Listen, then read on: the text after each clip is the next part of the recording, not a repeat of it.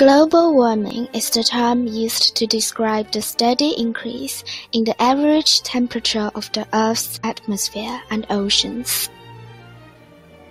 You have probably heard on the news or at school about the effects of global warming, such as sea level rise, crop failure, animal extinction, and extreme weather. Sounds pretty serious, huh? Well, it is. Although global warming has and will continue to have dramatic effects on the environment, we just don't seem to be taking it seriously enough. Although the entire scientific community has come to the agreement that global warming is real and is caused by human activity, not all politicians seem to be convinced. Arguments against global warming include things like Global temperature rises are due to natural variations in the sun's output, such as sunspots. I'm sure you've all heard of Galileo Galilei, that man with the beard who suggested that the Earth revolved around the sun? Yes, him. Well, shortly after he made his new telescope in 1660, he made the first European observation of sunspots. Well, what exactly are sunspots, I hear you ask? Sunspots are dark planet-sized regions found over the surface of the Sun. They appear dark because they are colder than the areas surrounding them, but by no means mistake these sunspots for cold. They're really, really, and I mean really hot. But this number isn't constant, no. In fact, the number of sunspots change in a repeated cycle.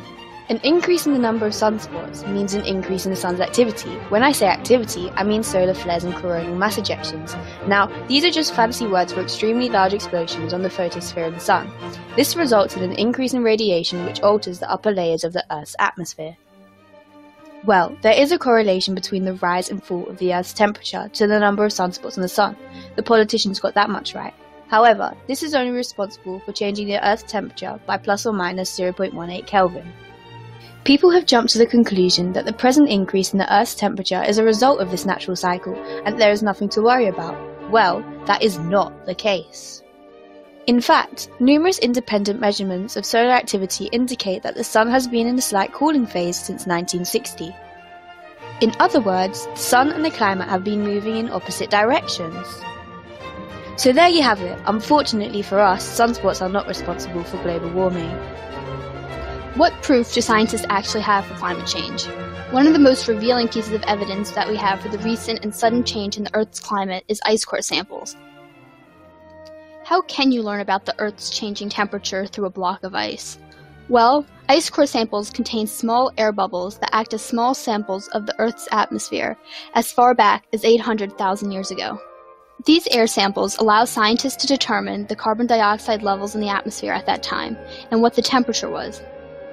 What the ice core samples reveal is that carbon dioxide concentrations were very stable over the last 1,000 years, until the beginning of the 1800s, which was the start of the Industrial Revolution. At the moment, CO2 concentrations are 40% higher than they were before the start of the Industrial Revolution. Pretty scary,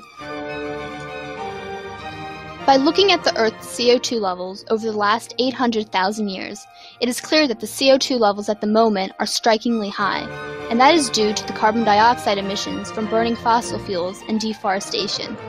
What does all of this show us?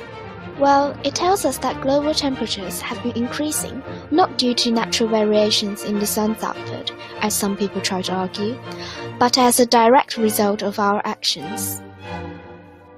So, maybe the next time you finish your bottle of Fanta, throw it in recycling bin. Or the next time you need to get to your best friend's house, why not cycle? Or even simply when you leave the room, flick off the lights.